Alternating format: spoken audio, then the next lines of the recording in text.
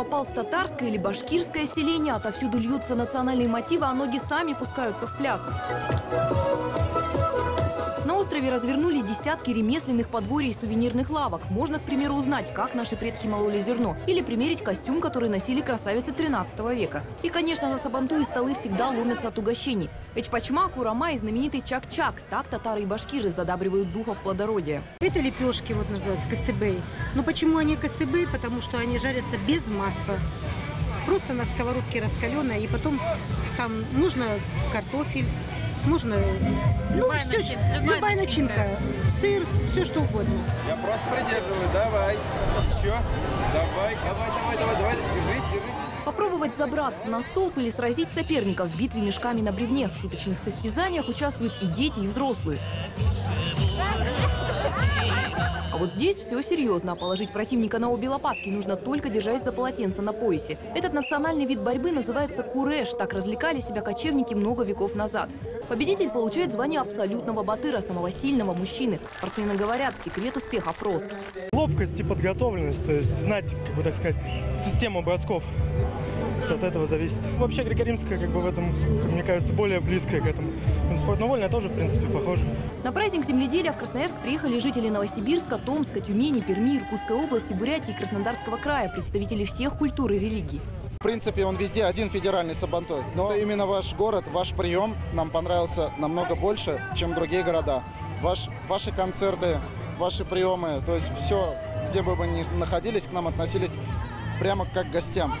Хлебом, солью и чак-чаком встречают высоких гостей. Вместе с губернатором края открывать федеральный Сабантуй приехал временно исполняющий обязанности президента Татарстана Рустам Миниханов. Гуляя по площадкам, с удовольствием фотографируется с участниками и гостями праздника. И вместе с артистами пускаются в пляс.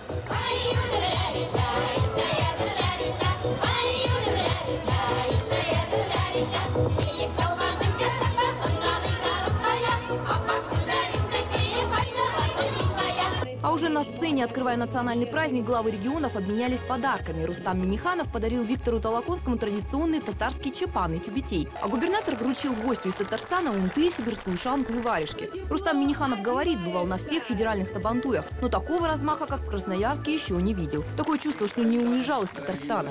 Мы были в подворьях, где наши татары, которые проживают здесь, наши, ваши, здесь нет наших, ваших, которые сохранили язык, сохранили культуру, самобытность. Это говорит о большом потенциале нашего российского государства и огромном внимании руководства края, чтобы все национальности могли сохранить свою самобытность. Мне было это очень приятно. В Красноярском крае сейчас проживает 34 тысячи татар, но специалисты говорят, почти каждый из жителей региона имеет татарские корни. Губернатор края Виктор Толоконский подчеркивает, Сабантуй уже давно объединяет народы разных национальностей.